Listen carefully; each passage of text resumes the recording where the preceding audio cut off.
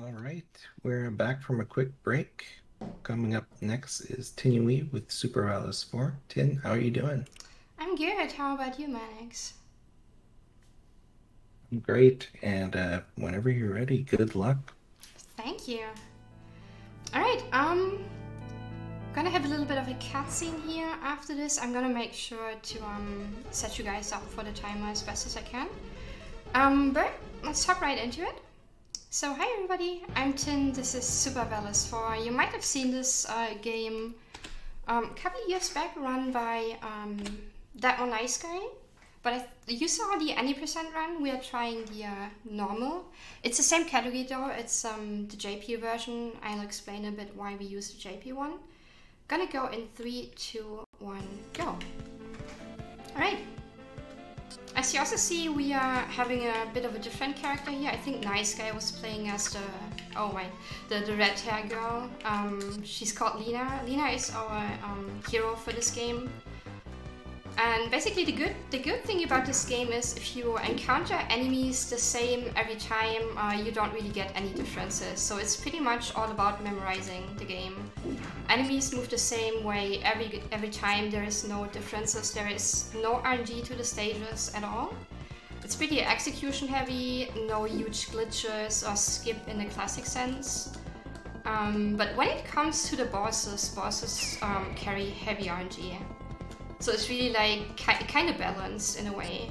You have no RNG really for the stages themselves, but the bosses you can lose up to 10, 12 seconds, even more if you get bad RNG.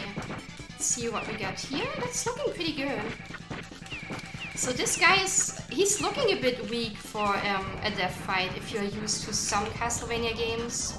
Uh, he can be quite challenging. For this game, you just uh, hit him a couple of times with the sub weapon and the sword, and the boss is gone. That's pretty much how it goes, in the best case. Um, yeah, the sub weapon we uh, were using for this boss is the strongest one in the game. You're gonna see that one a couple of times. Um, there's a couple of other sub weapons we use, but pretty much this one we just had in the previous screen is uh, the strongest one. So this stage, pretty chill music, pretty easy going, um, but after this stage, we're gonna make use of a glitch that is called uh, Headless. And we can only activate that glitch while we crouch into a screen transition. So as you've seen before, you can't really do that when you switch screens like that. You can only do it after bosses, that's the thing. So you, um, you fight your boss, the, the, the, next one we do it, it's not really optimal for this, um, this stage. That's why we only do it after the next boss. Um, but we activate the glitch. Once it is activated, you really don't want to crouch again, because it's, it's gonna disable the whole glitch again. So we're gonna try and keep that headless glitch on for as long as we can. Uh, but basically have to do that after each boss again. Because if you finish a stage, it just kind of resets in a way. So you you fight the boss, you crouch, you set up the headless glitch after each boss. Um, and it's gonna help a lot, because what it actually does, it, it extends Lena's hitbox. So kind of like the part of her upper body is not in the hitbox anymore. So what it does is it's kind of easy to um, dodge, um, let's say projectiles, somebody's shooting fireballs at you, they will usually hit you, uh, but won't for when the headless glitch is activated because you can't really, the game can't really see um, Lena's head as part of the hitbox anymore. Um, what it also does is there's a couple of stages, the next one coming up, and a stage called Crystal Pillar, uh, where you can actually extend the height of your jumps too. So when you would usually bonk into the ceiling, once you have the headless glitch activated, you're kind of like, you reach into the ceiling, which makes your jump a lot, lot more effective.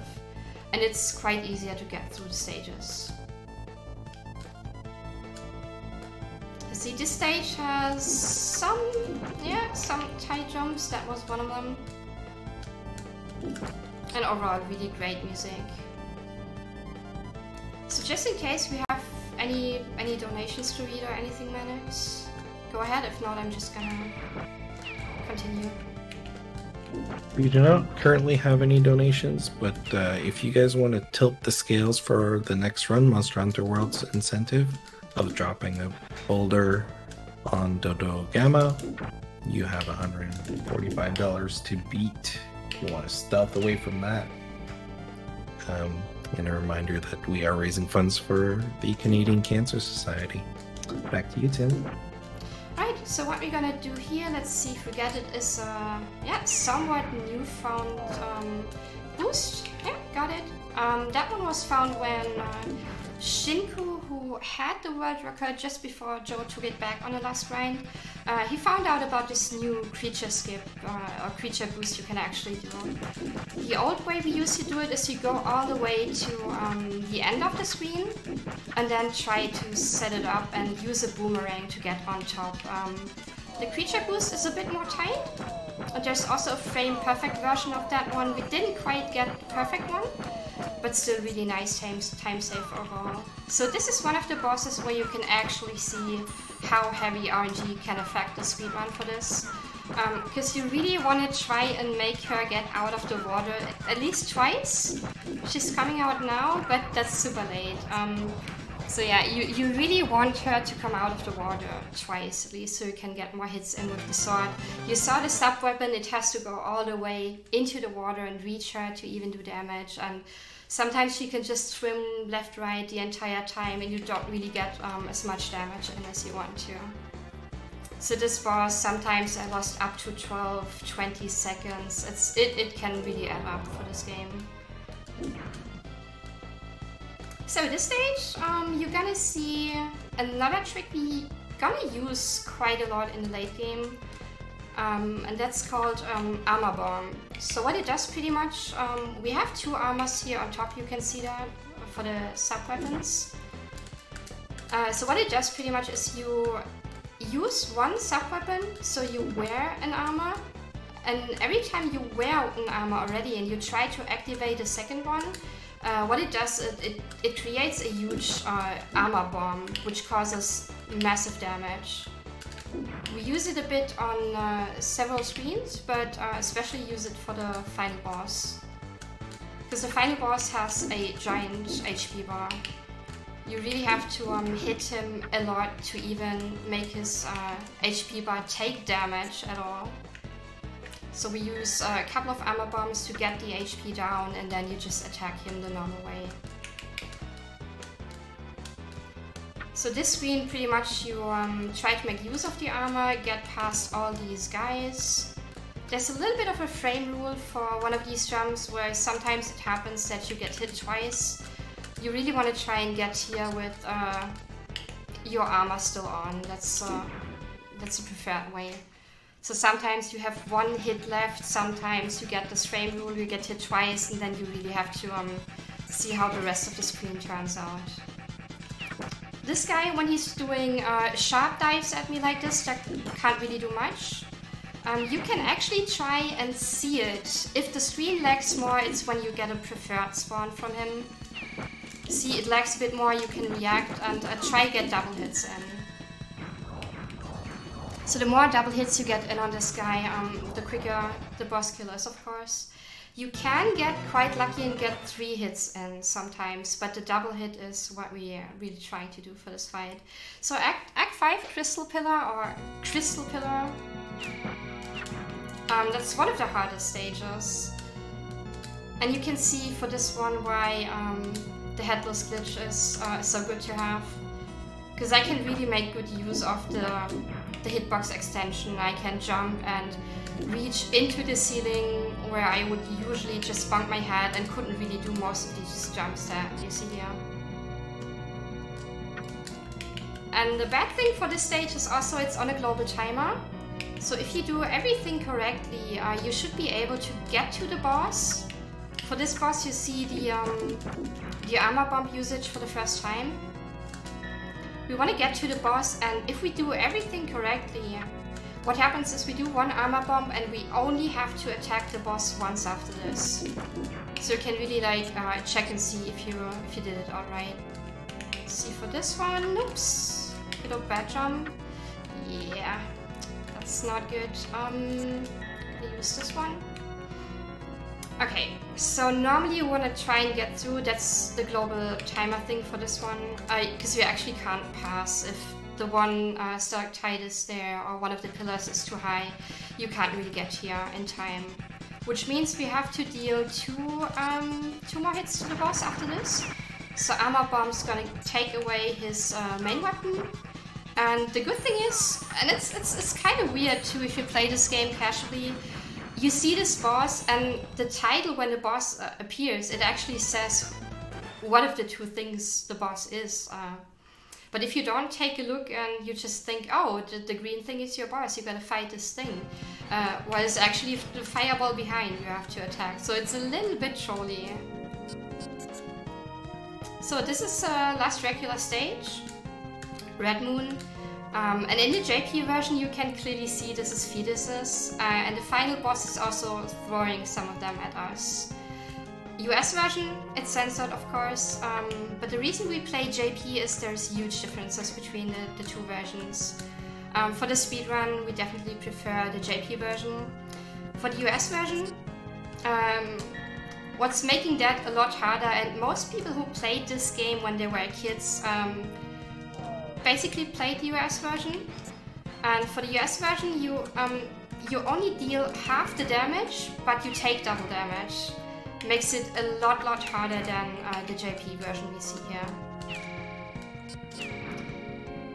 And uh, talking RNG for the stages, the previous screen was one of the very few exceptions where you actually uh, have to deal with RNG. These fireballs you saw on the, the top side of the last screen, you can't you can't really um, see if they spawn high or low, so you, you actually have to activate your armor and hope for the best pretty much but that's one of the very few um, moments where RNG really matters in this game. For the rest of this game, it's pretty much the bosses carrying all the RNG. So we didn't really get um, a good Red Moon this time, means we had to clear these enemies with the uh, basic sub-weapon you have in this game if you don't have any other sub-weapon equipped. And this boss is one of the hardest in the speedrun. It's heavy RNG. You want to try and um, let him leave the screen and jump up at a certain time so you can set up for a quicker kill. Where usually if he stays on screen, the longer he stays on screen, the better it is. Um, and you want to try and get double hits in every time he flies in. It's kind of easy mode here for this one. Um, but like I said, this is uh, the last regular stage. And after the stage we have, yeah, classic boss rush. And the bosses in this game, it's not a lot of bosses, they're not actually super um, interesting bosses anyway, so they just take three out of the bosses that you get. This is the one from stage two. And for the boss fight, for the for the boss rush, it's it's really all about RNG. Because here you can't use the sub-weapon, you actually want to use it on the next boss, since you only get the strongest sub-weapon here once. Uh, you saw we had it for um, the boss in stage 2, because we got two at the time. Now we only have one, we want to keep it for this boss. Which means the boss that we just um, killed, it's all about RNG. You, you only have the sword to hit him. It depends if he's doing short hops, long hops, whatever he decides to do. This boss, same thing as in stage 4. You want to see if the screen lags more, you can get more hits in. That's what we want, just like here. You want to try and get two hits in at best. Um, try and kill him the earliest possible. The next boss is gonna be the boss we fought in uh, Red Moon. Just so it's a bit harder to do this time. Last time we just had the same movement all the time pretty much. When he comes into the screen it's just um, the same pace pretty much. Uh, for this revisit of the next boss, he, he um, the, every time he flies in he gets uh, a lot faster. So you can't rely on your usual timing, you have to react a lot faster to these spawns. Which makes that boss quite a pain uh, if you play, or if you, if you try to PB it can really mess a lot. So you got good RNG though for starting out here. Sometimes you hit him once and he immediately gets off screen. That's the worst thing to happen. But you, you see he gets quicker every time he comes in. It makes it a lot harder to get these double hits in. So he gets off again, we try to jump. Try to get two hits in. This is also where, where the, the headless glitch helps a lot. Because um, normally when you jump up and try and hit him, uh, you would get hit by him flying at you. But because the game doesn't register um, Lena's body to be part of the hitbox or the upper body, doesn't register the upper body, you can just be into his hitbox with your head, but it doesn't count as a hit. Final cutscene we get for the game, and then it's uh, fight versus Gelgier. So the story of this game basically is um, captured the goddess Yoko. Yoko is responsible to restore peace in Vecanti. That's the first world we got to see um, earlier in the run. Um, he captured the goddess. He wants to get hands on a magic ring that might grant him the ultimate power to rule over the world. So it's on Lena to fight him and um, get him back into the magic prison he was in. It was sealed, but he somehow broke free, and now we have to fight this guy again. It's a big jerk for the speedrun. It's like your, your final RNG boss. Um, if he decides to do ice attacks or um, there's a missile attack he can do, it just takes forever to... Uh, yeah, this one, for example. But it, it's it's partly RNG. Um, you sometimes he's just doing it, but it also kind of depends on your distance towards him. Uh, when he's further away, he's more likely to do um, favorable attacks. This one he's usually doing more often if you're close to him, but you've got to be somewhat close to hit him, so it's yeah, you can't you can't really dodge it. But you want to try and like get away a tiny bit, make him do these jumps instead, and then try to close up on him again.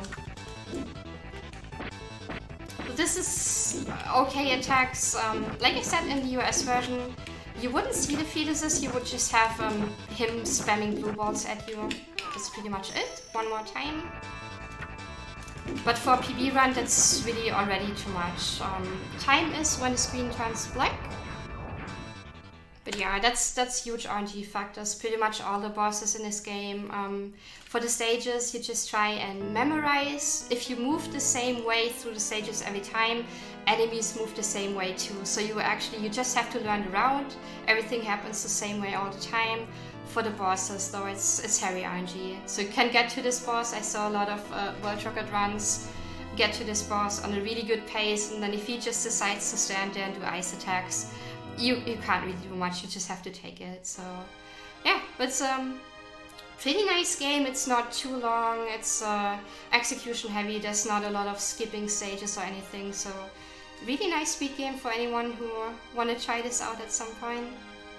And that's it already. That's Super Valis 4 for you guys. I hope you enjoyed it a bit. Um, I'm glad I was able to be part of this again. It's always a nice event to watch and take part in. I hope you enjoyed and good luck to the rest of the runners. Thank you very much for that run, Tina. I can't even run properly in that video game, so that was a nice showcase. yeah. Um, yeah, up next we got Monster Hunter World. Um, so where can we find you, Tina? I know other than Twitch, I'm going to shut you out in the chat. Yeah, I also have Twitter. Uh, for Twitter, it's Tinnue LP because I used to do German Let's Plays. But it's basically uh, Twitter and Twitch.